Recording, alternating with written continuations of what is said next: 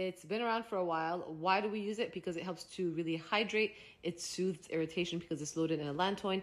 Questionable whether or not it produces collagen. I don't really know if I believe it. I need to see more studies. No, you cannot get snails from the garden and squeeze the mucin out of it.